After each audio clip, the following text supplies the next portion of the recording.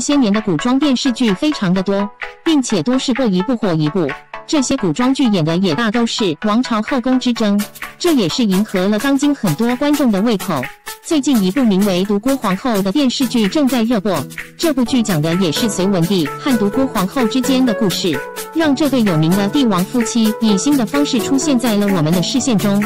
隋文帝是历史上一个比较有作为的皇帝，在军事上消灭了陈国，成功的统一了当时严重分裂数百年的中国，建立起了隋朝。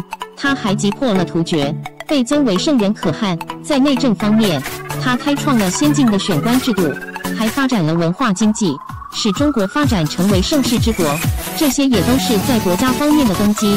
除了这些以外，在个人的感情方面，隋文帝和独孤皇后也是历史上非常著名的一对帝王夫妻。独孤伽罗的父亲独孤信是杨坚父亲的上司，说起来杨坚也算是高攀了。后来的独孤信打算把女儿许配给杨坚，而独孤伽罗当即提出自己的丈夫只能有自己这一个妻子。杨坚毫不犹豫地答应了下来，两人也因此成为了夫妻。此后的两人一直恩爱有加，在独孤伽罗的帮助下，杨坚最后登上了帝位，成为了千古一帝。刚做了皇帝的杨坚还如以往般爱着独孤伽罗，后宫之中也只有独孤伽罗这一个皇后，并没有其他的女人。这对于皇帝来说也是非常的难得。但就在后来，这样的美好还是破灭了。杨坚终于对别的女人动了心。喜欢上了陈后主的同父异母妹妹宣华夫人。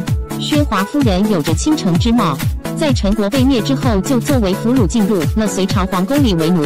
一开始的时候，杨坚并不知道皇宫里有这么一个人，直到一次偶然的机会，杨坚才在御花园中碰见了当时作为宫女的薛华夫人，自此心中难以忘怀。后来隋文帝终于忍不住了，就偷偷的召见了薛华夫人，让薛华夫人为自己侍寝。